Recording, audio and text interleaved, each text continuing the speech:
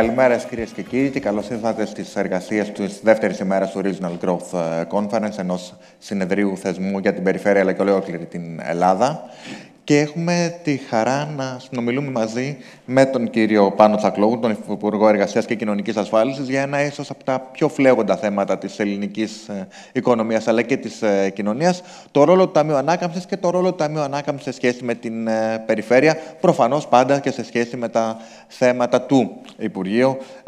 Η εργασία και το Ταμείο Ανάκαμψης είναι έννοιες συνυφασμένες. Βλέπουμε ένα πολύ μεγάλο κομμάτι των πόρων του Ταμείου Ανάκαμψης να διοχετεύεται σε θέματα εργασία, ανάπτυξη ανθρώπινου δυναμικού και γενικότερα βελτίωση της κοινωνίας.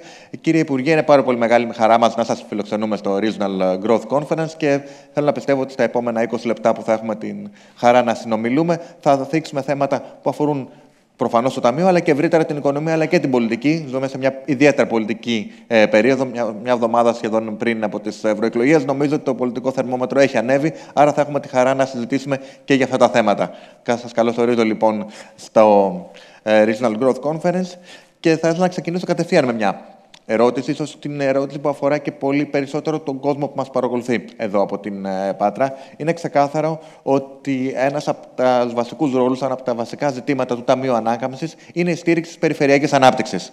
Είναι ένα εργαλείο που αφορά όλη τη χώρα αφορά σε πολύ μεγάλο βαθμό και την περιφέρεια. Άρα, με βάση και το δικό σας Υπουργείο, ποια, είναι, ποια προγράμματα και ποιες δράσεις έχετε, ε, τρέχετε αυτή τη στιγμή που βοηθούν αυτό το ρόλο; Ναι. Ε, πρώτα πρώτα, επιτρέψτε μου να το βάλουμε. Σας... Πρώτα πρώτα, θα ήθελα να ευχαριστήσω τους δύο οργανωτές για την πρόσκλησή τους. Ε, το Regional Growth Conference σταδιακά γίνεται ένας θεσμός ε, ο οποίος πραγματικά προσελκύει πολύ ενδιαφέρον, πολλούς ομιλητές, πολύ καλές συζητήσεις. Έχω συμμετάσχει ακόμα μία φορά και πραγματικά σας εύχομαι να πάτε καλά και τα επόμενα χρόνια. Να έρθω τώρα στο ερώτημα του κυρίου Πεφάνη. Ε, λίγο θα ήθελα να ξεκινήσω από ένα βηματάκι πιο πίσω.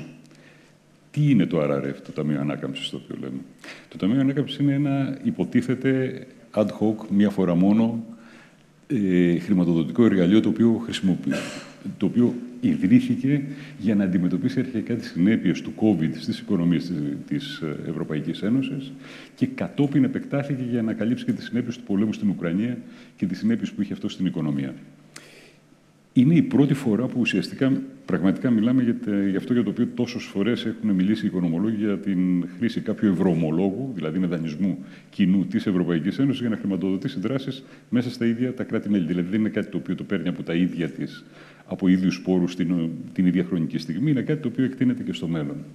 Είναι πολύ κρίσιμο από πολιτική άποψη και από οικονομική άποψη το RRF να πετύχει. Είναι πάρα πολύ είναι σε πάρα πολλές χώρες που γίνεται αυτή η συζήτηση το ότι αν αυτό το πρόγραμμα πετύχει, είναι ένας δείκτης το ότι πραγματικά μπορούμε να πάμε προς αυτή την κατεύθυνση και στο μέλλον. Αν δούμε ότι αυτά τα, τα χρήματα ουσιαστικά ήταν ανεμομαζώματα, ανεμοσκορπίσματα, πολύ φοβάμαι ότι δεν θα υπάρχει κάτι τέτοιο άλλο και θα είναι κακό, για να το συνδέσω και με το τελευταίο σας ερώτημα, και για το μέλλον της ευρωπαϊκής ολοκλήρωσης σαν τέτοιο. Το ταμείο, το RRF, δεν είναι όπως είναι το ΕΣΠΑ, πούμε, κάτι το οποίο πρώτη στο στόχο του έχει τις περιφερειακές ανισότητες.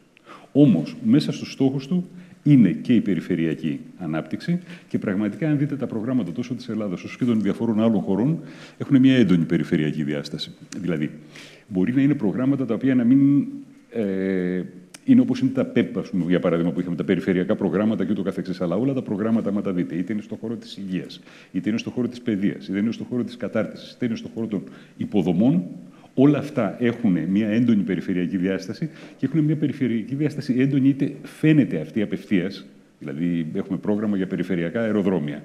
Είτε μπορεί να είναι ένα πράγμα το οποίο είναι γενικότερο. Έχουμε ένα πρόγραμμα για πολιτική προστασία. Αυτό μπορεί να χρεώνεται Πού είναι η βάση των αεροπλάνων, νομίζω, αν δεν κάνω λάθος, στην Ελευσίνα είναι. Μπορεί να χρεώθηκε εκεί πέρα σαν τέτοιο, αλλά το πρόγραμμα αυτό καλύπτει όλη την Ελλάδα. Οι πολλές πυρκαγιές δεν γίνονται στην Ελευσίνα, αλλού γίνονται. Δηλαδή, έχουμε τέτοια πράγματα σε όλα ανεξαιρέτως στα κομμάτια του, α, των δαπανών του Ταμείου Ανάκαμψης. Τώρα, για να έρθω στο, στο δικό μου το Υπουργείο. Το Υπουργείο Εργασίας, αλλά όχι ο τομέας στον οποίο υπηρετώ εγώ, το οποίο είναι οι κοινωνικές ασφαλίσεις, είναι ένας από τους ε, μεγάλους beneficiaries, το, πάντων από τους μεγάλους ωφελημένους του α, Ταμείου Ανάκαμψης. Υπάρχουν πάρα πολλά προγράμματα. Τα προγράμματα τα πολλά είναι κυρίως στον τομέα της ε, πρόθεσης απασχόλησης και της κατάρτισης και επανακατάρτισης του εργατικού δυναμικού. Υπάρχει και ένα κομμάτι στο οποίο πραγματικά εκεί είναι σημαντικό και για το δικό μου τον τομέα, που είναι στον τομέα του ψηφιακού εξυγχρονισμού. Προφανώς ο τομέας του ψηφιακού εξυγχρονισμού δεν αφορά μόνο το Υπουργείο σαν τέτοιο, αλλά κυρίως τους εποπτευόμενους φορείς. Δηλαδή, πούμε, για παράδειγμα, στην δική μου την περίπτωση στον ΕΦΚΑ, μπορεί να είναι αυτά τα πράγματα που έχουν σχέση με τη ΔΥΠΑ, την ε, μεταξέλιξη του ΟΑΕΔ ή ξέρω εγώ, τον ΟΠΕΚΑ και ούτω καθεξής. Οπότε υπάρχουν πολλά προγράμματα τέτοια, τα οποία γίνονται από το Υπουργείο. Και σε αυτά τα προγράμματα μπορείτε να δείτε αυτό το χαρακτηριστικό. Δηλαδή, ας πούμε, για παράδειγμα, είναι πολλά προγράμματα κατάρτισης τα οποία μπορεί να έχουν και ένα τοπικό χαρακτήρα, δηλαδή ανάλογα με τα προβλήματα τα οποία έχουν διάφορες περιφέρειες. Να σα δώσω το παράδειγμα της Δυτικής Μακεδονίας και την απολυγνητοποίηση. Υπάρχουν ειδικά προγράμματα για εκεί. Υπάρχουν και άλλα προγράμματα τέτοια τα οποία είναι γενικότερα, τα οποία πάνε σε αντίστοιχα σε περιφέρειες, αλλά μπορεί να είναι και προγράμματα τα οποία είναι κεντρικά, τα οποία όμως έχουν πολλαπλασιαστικά αποτελέσματα και σε περιφερειακό επίπεδο. Αυτό που σας είπα προηγουμένως. Αν γίνει ο εξυγχρονισμός του ΕΦΚΑ με τα δύο τα μεγάλα τα projects τα οποία τρέχει αυτή τη στιγμή, δηλαδή τη δημιουργία του καινούριου πραγματικά ολοκληρωμένου πληροφοριακού συστήματος και την ψηφιοποίηση του αρχαιακού του υλικού, αυτό θα ωφελήσει τους πάντες. Ασχέτως το αν μένουν στην Αχαία, στη Θεσπρωτεία, στην Αττική ή στη Λέσβο, θα βγαίνει πολύ πιο γρήγορα η σύνταξή τους, θα βλέπουν το ασφαλιστικό τους ιστορικό, θα έχουν όλη την πρόσβαση σε αυτή την πληροφορία. Οπότε και εκεί υπάρχει αυτή η περιφερειακή διάσταση. Θέλω να σταθώ σε αυτό που είπατε για τα προγράμματα κατάρτισης, γιατί πραγματικά είναι ένα βασικό ζήτημα. Το reskilling, upskilling, η ανάγκη απόκτησης νέων δεξιοτήτων, η βελτίωση δεξιοτήτων είναι ξεκάθαρη και αφορά ολόκληρη την Ελλάδα, πολλό δε μάλλον την περιφέρεια. Θα ήθελα να ρωτήσω λοιπόν ε, πώς προχωρά σε αυτό το κομμάτι, ποια προγράμματα υπάρχουν και πώς αυτό μπορεί να εστιάσει σε ανάγκες συγκεκριμένες περιφέρειες, ενδεχομένως και σε διαφορετικούς τομείς που χρειάζεται επανακατάρτιση ή απόκτηση και νέων δεξιοτήτων, δεδομένου ότι ο χάρτης αλλάζει πλήρως. Είναι πολύ σωστό αυτό το ερώτημα, ακριβώς έτσι όπως το θέτετε. Υπάρχουν δύο διαστάσεις, μάλλον τρεις διαστάσεις, οι οποίες δεν πρέπει να τις ξεχνάμε. Η πρώτη διάσταση είναι το ότι αυτή τη στιγμή η χώρα μας, παρότι η ανεργία στην προηγούμενη πενταετία μειώθηκε ραγδαία, έχουμε ακόμα σχετικά υψηλό ποσοστό ανεργίας. Το οποίο σημαίνει ότι αυτοί οι άνθρωποι για να βρουν κάποιες θέσεις καλές στην αγορά εργασίας πιθανόν να χρειάζονται κάποια επανακατάρτιση. Πιθανόν τα προσόντα τους να μην είναι αυτά τα οποία απαιτούνται στο εργατικό δυναμικό σήμερα. Ε, άλλωστε, αυτό το βλέπουμε και από κάτι άλλο. Είναι πάρα πολλοί τομείς της ελληνικής οικονομίας όπου παρά το υψηλό ποσοστό ανεργίας μας δηλώνουν ότι υπάρχουν στενότητες. Δεν μπορούν να βρουν εργατικό δυναμικό. Οπότε πρέπει να γίνει μια προσαρμογή στον τομέα αυτό. Το δεύτερο είναι το ότι δεν πρέπει να ξεχνάμε το ότι δεν πρέπει να εκπαιδεύουμε. Να το πω λίγο διαφορετικά. Τώρα επιτρέψτε μου να μιλήσω λίγο περισσότερο σαν ακαδημαϊκός οικονομολόγος. Παλαιότερα, πιθανότατα στην εποχή του πατέρα μου, ας πούμε, για παράδειγμα, μπήκε σε μια θέση στην οποία από αυτή πήρε και σύνταξη. Αυτός ήταν ο κανόνας, δεν ήταν η εξαίρεση μπαίνουμε σε μια διαδικασία τέτοια που ακριβώς λόγω της τεχνολογικής αλλαγής θα έχουμε αρκετές φορές αλλαγές. Όχι μόνο στην επιχείρηση στην οποία δουλεύουμε, αλλά διόλου πιθανό και στο επάγγελμα το οποίο κάνουμε. Αυτό τι απαιτεί με τη σειρά του, απαιτεί αλλαγή δεξιοτήτων. Και αυτό είναι το πράγμα το οποίο θα έχουμε στα επόμενα χρόνια, το οποίο θα είναι μια διαρκής κατάρτιση και επανακατάρτιση. Δηλαδή αυτό το πράγμα που λέγουμε ότι πήραμε το πτυχίο μου και τελείωσα, αυτό ανήκει πλέον στο παρελθόν. Τώρα, η επανακατάρτιση δεν πρέπει να γίνεται με γνώμονα μόνο το ποιες είναι οι σημερινές ανάγκες αγορά-εργασία. Θα σας δώσω δύο παραδείγματα. Λέμε διαρκώς, ας πούμε, για παράδειγμα, ότι πρόκειται να έχουμε δύο μεγάλους μετασχηματισμούς. Ο ένας βρίσκεται ήδη σε πλήρη εξέλιξη, είναι ο ψηφιακός μετασχηματισμός. Ο δεύτερος είναι ακόμα στην αρχή του. Είναι η πράσινη ανάπτυξη. Και σε αυτά τα πράγματα υπάρχουν, ειδικά στο δεύτερο τομέα, υπάρχουν πάρα πολλές δουλειές, οι οποίες δεν τις ξέρουμε ακόμα ποιες ακριβώς θα είναι. Λοιπόν, οπότε χρειαζόμαστε αυτό το πράγμα το οποίο να είναι και κάτι γενικότερο που να είναι προς αυτή την κατεύθυνση. Και το τελευταίο, το οποίο το είπατε και εσείς, κύριε Πεφάνη, δεν έχουν όλες οι περιφέρειες τις ίδιες ανάγκες. Προφανώς, τα προγράμματα τα οποία κάνει η ΔΥΠΑ ή και προγράμματα τα οποία στηρίζουμε γενικότερα, αυτό το οποίο έχουν, έχουν αυτή τη διάσταση. Δηλαδή, διαφορετικές είναι οι ανάγκες σε εργατικό δυναμικό σε ένα α πούμε, για παράδειγμα, σε ένα νησιωτικό σύμπλεγμα που είναι προσανατολισμένο προς τον τουρισμό, ενδεχομένως και εκεί να έχουν ε, στην ανάγκη αλλαγής του ενεργειακού μείγματος κλπ. Και διαφορετικές να είναι, ας πούμε, για παράδειγμα, έδωσα το παράδειγμα της Δυτικής Μακεδονίας προηγουμένως και της απολιγνητοποίησης σε κάποια τέτοια περιφέρεια. Οπότε όλα τα προγράμματα τα αντίστοιχα πρέπει να είναι αυτό το πράγμα που λέμε tailor-made. Αντίστοιχα με τις ανάγκες οι οποίες υπάρχουν στις αντίστοιχες περιοχές. Και ένα τελευταίο πράγμα, αν θέλω να πω. Το η εμπειρία την οποία έχουμε από άλλες χώρες και από την Ελλάδα είναι ότι γενικά το καλό το training γίνεται μέσα στις επιχειρήσεις. Το πρόβλημα που έχουμε εκεί σαν οικονομία είναι το ότι γενικά training κάνουν οι μεγάλες επιχειρήσεις.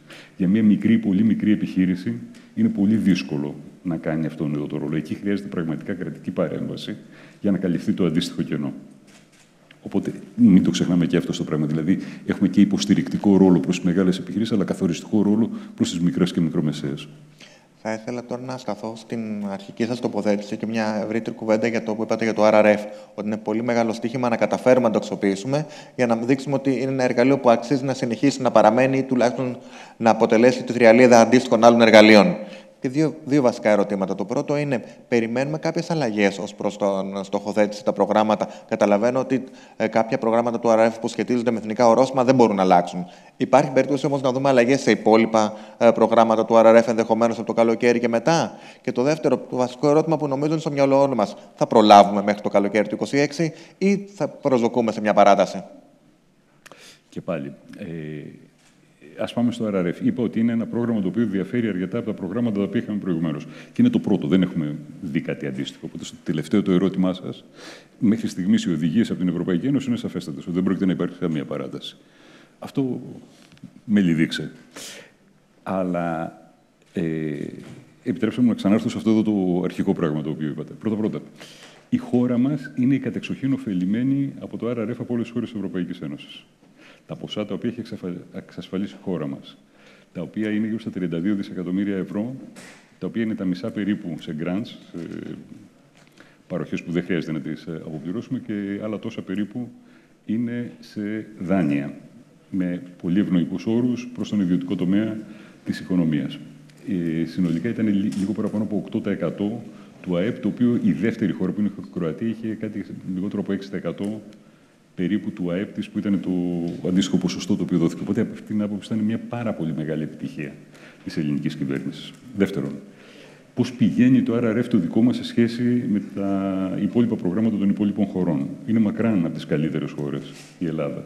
Τόσο σε απορρόφηση όσο και σε υλοποίηση μέχρι στιγμής. Αντίθετα από αυτό που λέγεται μερικές φορές στο δημόσιο διάλογο. Το, σε όλα αυτά τα προγράμματα πάντα επαναπρογραμματισμοί υπάρχουν είτε γιατί αλλάζουν οι αντικειμενικές συνθήκες, είτε μπορεί να αλλάζουν τεχνολογικές συνθήκες κ.ο.κ. Το RRF έχει το χαρακτηριστικό ότι δεν μπορείς να κάνεις major reprogramming, δηλαδή να πάρω χρήματα, ας πούμε, για παράδειγμα, τα οποία ήταν ε, σε δύσκολα projects, ας πούμε, για παράδειγμα στις υποδομές, και να πω, Α, ξέρεις, στους ανθρώπινους πόρους είναι ευκολότερα, πάμε να τα ξοδέψουμε εκεί πέρα. Αυτό δεν γίνεται. Αλλά μέσα στους ανθρώπινους πόρους, μέσα στις υποδομές κλπ., ότι κάποιες ανακατατάξεις μπορούν να γίνουν, αυτό το πράγμα γίνεται.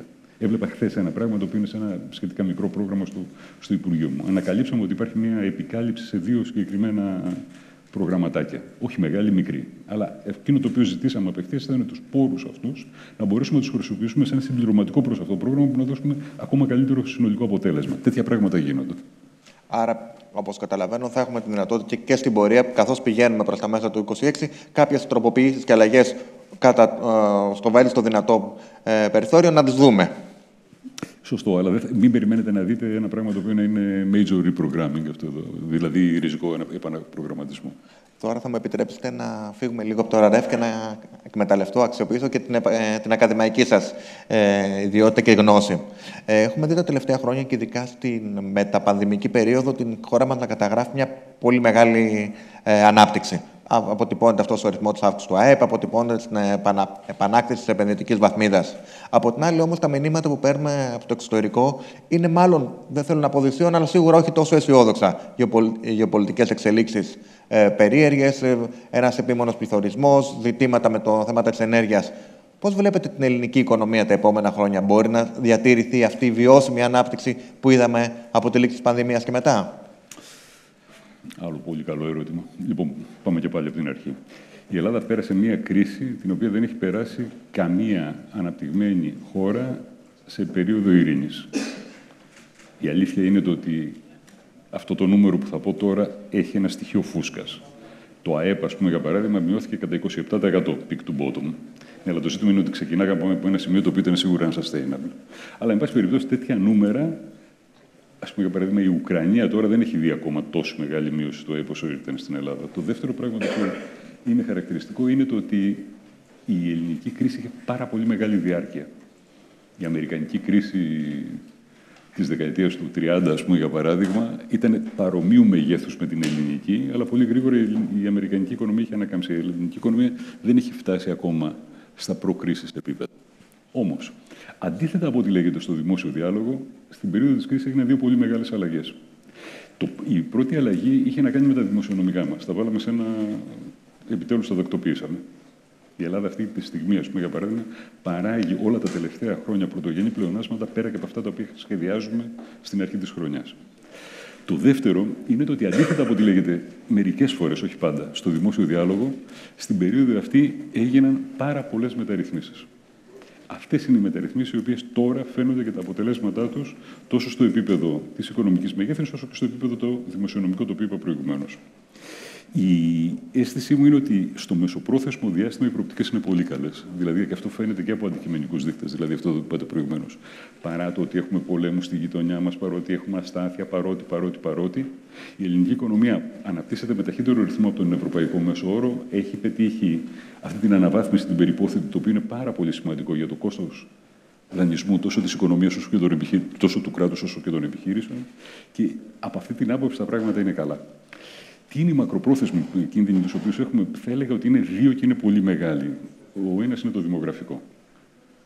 Ε, τα δημογραφικά μας μεγέθη είναι τέτοια τα οποία αυτό που μας δείχνουν είναι ότι μεσοπρόθεσμα και μακροπρόθεσμα ο πληθυσμός της χώρας και θα, θα είναι μικρότερος και γυρεότερος. Τώρα, αυτό για την βράχη πρόθεσμη και μέσο πρόθεσμη περίοδο είναι κάτι το οποίο μπορούμε να το αντιμετωπίσουμε. Δηλαδή υπάρχουν πολλές πηγές ακόμα τις οποίες μπορούμε να εκμεταλλευτούμε. Δηλαδή, τι είπα προηγουμένως, είπα ότι η ανεργία μας παρότι μειώθηκε θεαματικά τα προηγούμενα χρόνια, είναι ακόμα σε υψηλά επίπεδα. Άρα, μπορούμε να έχουμε ακόμα αρκετούς ανέργους που να μπουν στο εργατικό δυναμικό με την κατάλληλη επανακατάρτιση. Υπάρχουν μετά τμήματα του ελληνικού εργατικού δυναμικού, των οποίων η συμμετοχή στο εργατικό δυναμικό, το ποσοστό συμμετοχής, είναι σημαντικά χαμηλότερο από ό,τι είναι στην Ευρωπαϊκή Ένωση. Είναι στις γυναίκες, είναι στους νέους, είναι στα άτομα με ειδικές ανάγκες, ε, άτομα με αναπηρία είναι στους ε, συνταξιούχους. Σε όλες αυτές τις ομάδες έχουμε λάβει μέτρα και ήδη βλέπουμε ότι αυτά φέρνουν και αποτελέσματα για μεγαλύτερη συμμετοχή του στο εργατικό δυναμικό. Οπότε, στο βράχη πρόθεσμο και το μέσο πρόθεσμο διάστημα, διάστημα για αυτό για το οποίο με ρωτήσατε, νομίζω ότι οι προοπτικές είναι καλές. Για παραπέρα, εκεί πρέπει να σκεφτούμε το τι ακριβώς είναι αυτά τα πράγματα που πρέπει να κάνουμε. Δηλαδή και δημογραφική πολιτική. Είναι αλήθεια ότι παίρνουμε πάρα πολλά μέτρα, αλλά ακόμα και όλα αυτά εδώ τα πράγματα να πετύχουν, τα αποτελέσματά τους θα φανούν μετά από μεγάλο χρονικό διάστημα στην αγορά εργασίας, μία 20 ετία και παραπάνω. Το τελευταίο κίνδυνο στον οποίο ανέφερα έχει να κάνει με την κλιματική αλλαγή. Όλες ανεξαιρέτω οι μελέτες οι οποίες υπάρχουν φαίνεται να δείχνουν ότι το οικοσύστημα της Μεσογείου είναι το πιο ευαίσθητο από όλα σε όλο τον κόσμο στι συνέπειες της κλιματικής αλλαγής και προφανώς αυτό θα έχει συνέπειες και για τομείς της οικονομίας της ελληνικής, οι οποίοι είναι κομβική σημασία, όπως είναι ο τουρισμός. Και εκεί πρέπει να δούμε τι έχουμε να κάνουμε. Εδώ είναι λίγο μακρύτερο το πρόβλημα. Και αυτό. Λίγο χρόνο μας έχει απομένει. Ε, δεν μπορώ να μην σας κάνω και μια πολιτική ερώτηση. Την επόμενη Κυριακή ψηφίζουμε για τις ευρωεκλογές. Και είναι ίσως από τις πιο ήρεμες, από τις πιο ήσυχες προεκλογικές περιόδους που έχουμε βιώσει τα τελευταία χρόνια. Για ποιο λόγο ψηφίζουμε και ποιο, πού βάζετε εσείς τον πύχη για, την, για το κόμμα σας; Το ότι οι εκλογές είναι ήσυχες είναι καλό, δεν είναι κακό. Το ότι δεν σκοτωνόμαστε όπως μερικοί γυρεότεροι εξημών θυμόμαστε από παλαιότερες δεκαετίες. Το ότι δεν γίνεται διάλογος όμως για ευρωπαϊκά θέματα είναι κακό. Ε, αυτή τη στιγμή το διακύβευμα το οποίο έχουμε στην Ευρωπαϊκή Ένωση τα επόμενα χρόνια είναι σημαντικό. Το σημαντικό διακύβευμα είναι αν θα προχωρήσει και έχει άμεση σχέση με τα προηγούμενα ερωτήματά σας, αν θα προχωρήσει η διαδικασία της ευρωπαϊκής ολοκλήρωσης και προς τα πού θα πάει. Ένα πράγμα για να καταλάβουμε όχι μόνο για τη χώρα μας, αλλά και την Ευρώπη ολόκληρη. Παλαιότερα, οι μεγάλες δυνάμεις του κόσμου ήταν στην Ευρώπη. Αυτή τη στιγμή, αυτές οι δυνάμεις από μόνες τους είναι, ακόμα και οι μεγαλύτερες, είναι δυνάμεις οι οποίες είναι μικρομεσαίου μεγέθους. Να μην μιλήσω για χώρες οι οποίες είναι μικρότερες. Όμως εκεί ισχύει το ότι η ισχύς εν τη ενώση. Η ισχύς εν τη ενώση σημαίνει μεγαλύτερη ευρωπαϊκή ολοκλήρωση μεγαλύτερη ευρωπαϊκή ολοκλήρωση όχι μόνο στο οικονομικό πεδίο, αλλά για να προχωρήσει το οικονομικό πεδίο χρειάζεται και πολιτική ολοκλήρωση. Αυτά είναι τα ζητήματα τα οποία είναι τα σημαντικά και νομίζω ότι πραγματικά θα έλεγα ότι με μεγάλη διαφορά η κυβέρνηση είναι αυτή, το κυβερνητικό κόμμα είναι αυτό το οποίο δίνει, κατά τη γνώμη μου, τις πιο πιστικές απαντήσεις στο πεδίο αυτό, σε όλη αυτή την περίοδο, στον βαθμό που γίνεται και μια συζήτηση περί ευρωπαϊκών θεμάτων. Αυτό μπορούμε να το ποσοτικοποιήσουμε και σε κάποιο στόχο για την επόμενη Κυριακή; Ε, το έθεσε ο Πρωθυπουργός αυτό το πράγμα, το οποίο ήταν να φτάσουμε και να ξεπεράσουμε το στόχο των προηγουμένων ε, ευρω... ευρωεκλογών. Σας ευχαριστώ πάρα πολύ για την εξαιρετική ε, κουβέντα. Νομίζω ότι καλύψαμε μια ευρεία γκάμα θεμάτων και χαρά θα είναι και στην επόμενη κουβέντα μας, ειδικά στο κομμάτι του Ταμείου Ανάκαμψης και της διάθεσης των πόρων, να έχουμε δει πραγματικά τα χρήματα αυτά να πιάνουν τόπο. Έχετε απόλυτο δίκιο. Βέβαια, ένα πράγμα το οποίο να σκεφτούμε, γιατί αυτό έχει σχέση και με μια κουβέντα που γίνεται συχνά στη χώρα μας. Όταν έχεις μια ανάπτυξη η οποία είναι, ξέρω εγώ, για παράδειγμα, ένα χ, 100 δεν ποσοτικοποιείται αυτό διαγυμνού οφθαλμού για να πεις ότι τόσο είναι εξαιτίας των ευρωπαϊκών πόρων, τόσο είναι εξαιτίας των εγχωρίων πολιτικών κ.ο.κ. Αυτό το πράγμα μπορείς να το κάνεις ανάλυση εκ των υστέρων. Υπάρχουν πολλές τεχνικές που συνάδελφοί μου οικονομολόγοι χρησιμοποιούν και αντίθετα επίσης από ό,τι λέγεται πολύ συχνά στο δημόσιο διάλογο, από ό,τι φαίνεται τα κοινοτικά κεφάλαια στην Ελλάδα τα προηγούμενα χρόνια, παρότι δεν ήταν η άριστη η χρήση τους, είχαν ένα πολύ θετικό αποτύπωμα στην ελληνική οικονομία. Σας ευχαριστώ πάρα πολύ. Να είστε καλά.